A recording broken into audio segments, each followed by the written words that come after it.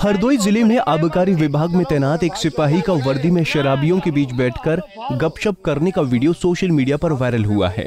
इतना ही नहीं, वीडियो के वायरल होने के बाद आबकारी विभाग का सिपाही वीडियो बनाने वाले के घर पहुँच गया, जहाँ कहासुनी के बाद ग्रामीणों ने उसे पकड़ लिया। मामला बिलग्राम इलाके के राहुला का है, जहाँ आबकारी विभाग के सिपाही के पकड़े जाने की सूचना के बाद पुलिस मौके पर पहुँची और सिपाही को ग्रामीणों के चंगुल से छुड़ाया। कात पूजबो पूजबो देवानंदा खास मरे के नंदा अब फिर वो चौमास में बरसात।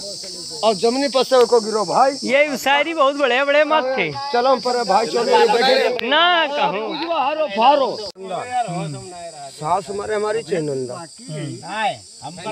तुम भेजो डाले बाबू इनके भी शायरी ले बढ़िया बढ़िया शायरी देवानंदा सास मरे तुमने देन ही और जब गिरी घन उनको सारो ज़मीन पर शायरी ले बड़े बढ़िया शायरी मिले तुम्हें। जब गिरो फिर वीडियो बनाए रहे देव पूजबो देवानंदा कात पूजबो देवानंदा खास मरे के नंदा। अब फिर वो चौमास में बरसात।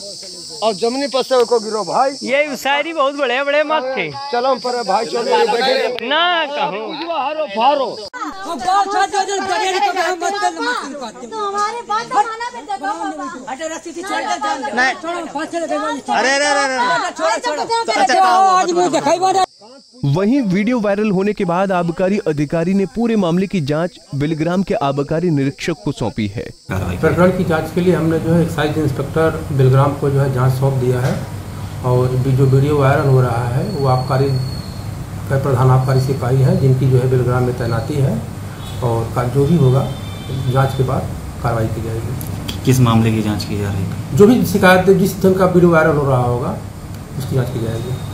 फ़िलहाल पूरे मामले की जाँच की जा रही है और अधिकारी जाँच रिपोर्ट आने के बाद मामले में सख्त कार्रवाई का आश्वासन दे रहे हैं।